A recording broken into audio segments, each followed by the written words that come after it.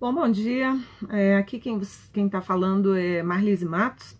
Eu sou professora associada do Departamento de Ciência Política da UFMG e também coordenadora do Núcleo de Estudos e Pesquisa sobre a Mulher da mesma instituição. Duas palavrinhas muito rápidas sobre o grotesco né, que foi assistir aquele programa de ontem é, do Roda Viva, tentando né, entrevistar né, a candidata ou pré-candidata Manuela Dávila.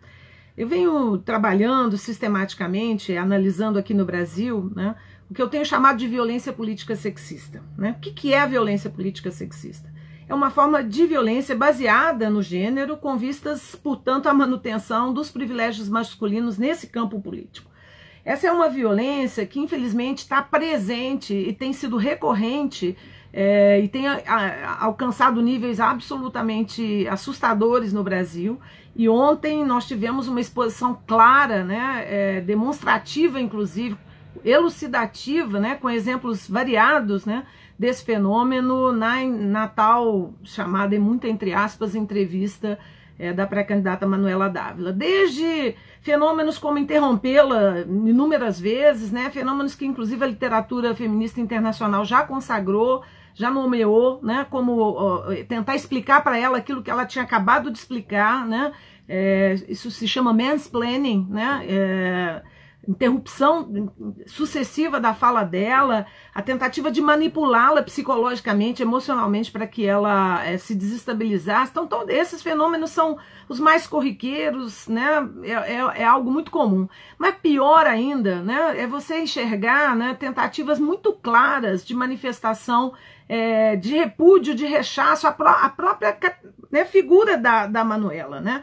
A gente viu ali uma exposição claríssima né, de, de, de argumentos machistas, né, é, enraizadamente patriarcais, de homens e de mulheres, o que é ainda mais lamentável. Né? A gente tem, é, inclusive na América Latina hoje, uma declaração da Organização dos Estados Americanos para coibir esse tipo de violência, que é, que é a Declaração sobre Violência e Abuso Político de Mulheres, é, criada em 2015, né? Então, no, alguns países como a Bolívia, o México, o Peru, né, já tem também é, legislações nacionais para tentar coibir né, esse tipo de violência política.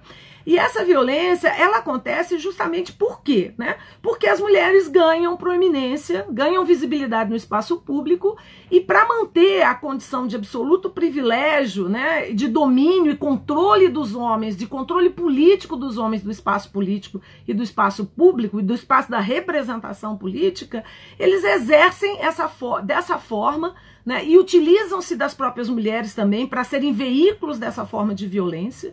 Né? Então, quase sempre é, é, é, é, são fenômenos dramaticamente lamentáveis. Né? E ontem isso a gente teve a, né, o pesar de assistir, de constatar naquilo que nem pode ser nomeado como uma entrevista que foi levada né, à audiência na noite de segunda-feira passada. Lamentável, né? E deixo aqui o meu claro repúdio a essa absurda forma de tratamento das mulheres no campo político.